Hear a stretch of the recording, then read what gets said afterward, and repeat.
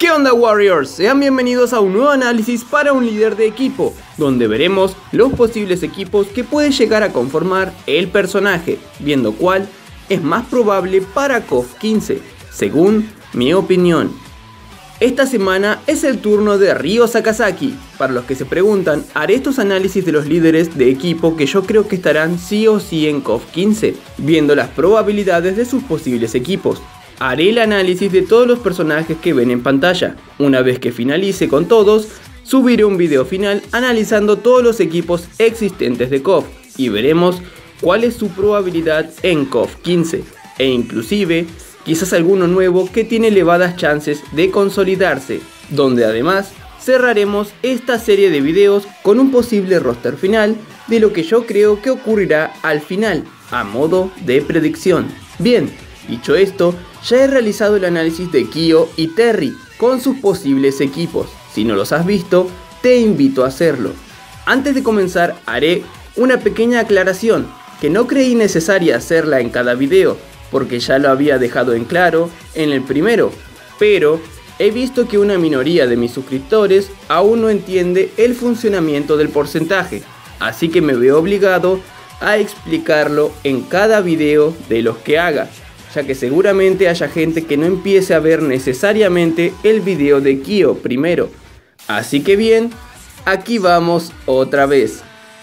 Aclaración, en el video analizaré varios posibles equipos para un mismo personaje. Cada equipo tendrá un porcentaje único del 0% al 100%. No tiene por qué sumarse el porcentaje de todos los equipos, ya que obviamente dará más del 100%. Porque cada equipo es un total en sí mismo y no necesita sumar a los otros equipos para llegar a un total. El equipo más cercano al 100% será el equipo que yo veo que tiene más probabilidad de realizarse en COF 15, ya que un equipo que tenga el 100% prácticamente es un equipo confirmado. Un equipo con 50% es un equipo que puede, como no puede estar en COF. Por encima del 50% es un equipo con cierta probabilidad de estar en el roster y un equipo por debajo del 50% es un equipo con pocas probabilidades dependiendo qué tan bajo sea ese porcentaje. Aquí les dejaré la gráfica que explica el porcentaje de cada equipo.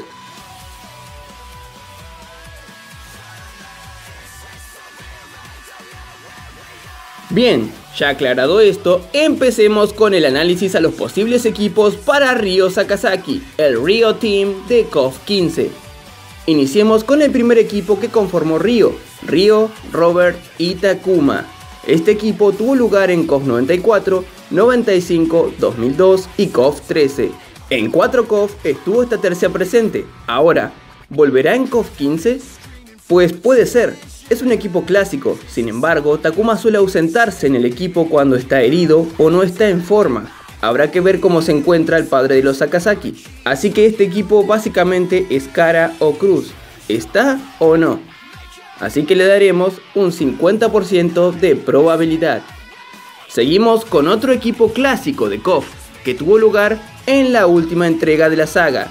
Así que está más que presente. Este equipo es Ryo, Robert y Yuri, y estuvo presente en KOF 96, 97, 98, 98 Ultimate Match, 2002 Unlimited Match, 2003 y KOF 14. En 7 entregas este equipo apareció como tal y hay muchas probabilidades de que vuelva a ocurrir. Yo siento que es el Art of Fighting Team más equilibrado de todos. Siento que este es el lugar de Yuri y siento que ella no debería salir. Se luce mucho en su equipo y no es opacada como en el Women Fighter Team ya que al haber tres mujeres casi siempre, Mai o King destacan más, por lo que siento que Yuri no debería moverse o alejarse de su hermano. En cuanto a este equipo yo creo que puede volver a ocurrir, pero siempre hay que dejar un margen a la sorpresa. Yo siento que hay dos equipos nuevos que pueden conformarse dando equipos muy interesantes, pero volviendo a este, le doy un 60% de probabilidad, un escalón arriba de Takuma, por aparecer en la última entrega y porque como digo, siento que Yuri no debe salir, aunque claro, es mi opinión. Después viene Oda y agrega a Ryo con Takuma y el Kinos Dinosaur, porque puede y porque quiere. Seguimos con uno de los equipos que les decía que sería interesante ver. Ryo, Yuri y Takuma. El equipo Sakazaki. Este equipo nunca ha sido visto como tal en KOF. Lo más cercano que tuvimos fue en KOF 99 y KOF 2001, donde los tres compartían equipo con Robert, pero Robert muy rara vez abandona el equipo. Quién sabe, quizás esta vez ocurra como en KOF 11. Todo dependerá de la ausencia de Robert, la cual puede darse por alguna lesión, negocios, algún viaje u obligación que lo aleje de las peleas y obligue a la familia Sakazaki por primera vez a formar un equipo en KOF. A este equipo le doy un 30% de probabilidad de aparecer en el roster. Continuamos con un dúo que ya han hecho equipo en dos entregas, KOF 2000 y KOF 11, Ryo y King. Estos han coincidido en estas dos entregas y justamente junto a Robert y Takuma en KOF 2000 y junto a Yuri en KOF 11. Así que cualquiera de los tres podría acompañar a la futura pareja. Yo opino que sería un equipo interesante. Ryo y King siempre nos dan momentos graciosos y quizás pueda darle frescura a la historia del Arrow Fighting Team y sacarlo de la monotonía del dojo y juntar dinero en su sending. Con King en el equipo ocurren buenos finales, como en el de KOF 2000. Sin embargo, no veo a King saliendo del Women Fighters Team, a menos que Mai también lo haga o consigan un miembro con gran experiencia para reemplazarla, como lo es por ejemplo Chizuru. Al equipo de Ryo y King le suma Yuri, porque es de los tres la que más me agrada, aunque también sería interesante ver a Takuma junto a la feliz pareja, ¿o no? Aclaro que oficialmente no son pareja, pero sabemos que sienten algo el uno por el otro. A este equipo le doy un 30% de probabilidades de realizarse. Seguimos con el segundo equipo interesante que puede darse en KOF 15. Este estaría conformado por Ryo Sakazaki y Marco Rodríguez, como se lo conoce en Oriente, o Kushnut Bat, como se lo conoce en Occidente. Y alguien más. De sus dos nombres elegiré el de Marco, ya que es más fácil de pronunciar y además es el que hace mejor referencia a su lugar de procedencia, Brasil. Para aquellos que no lo conozcan, Marco Rodríguez es el discípulo de Ryo Sakazaki. Apareció por primera vez en Garou Mark of the Wolves. Enseña Eikyokugen-ryu, instruido por su maestro a otros jóvenes.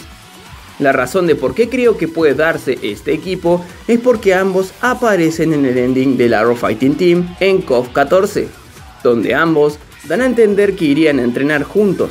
Si bien el ending no es canónico por el hecho de que el Arrow Fighting Team salió campeón, podemos tomar la inclusión de Marco como un guiño y hacer que finalmente se una al roster de KOF.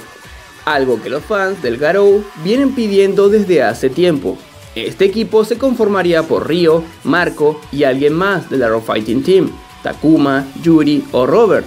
A este equipo y la inclusión de Marco Rodríguez a KOF le daremos un 40% de probabilidad de realizarse. Y por último, la posibilidad de que Ryo forme equipo con un personaje nuevo, y algún personaje del Arrow Fighting o inclusive que sean los dos nuevos. Esto lo veo improbable, creo que todos los personajes que rodean a Ryo cumplen con cada personalidad necesaria para el equipo, y no veo necesaria la inclusión de un personaje nuevo. Por lo que le doy un 10% de probabilidad de realizarse. Y así finaliza mi análisis a los posibles equipos para Río en KOF 15. ¿Estás de acuerdo con todos? ¿Crees que alguno tiene más probabilidad que otro?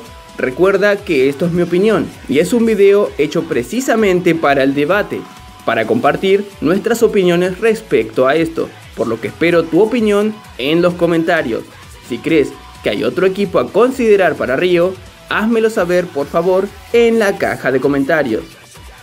Si el video te gustó, por favor dale pulgar arriba y compártelo con tus amigos, eso me ayudaría muchísimo.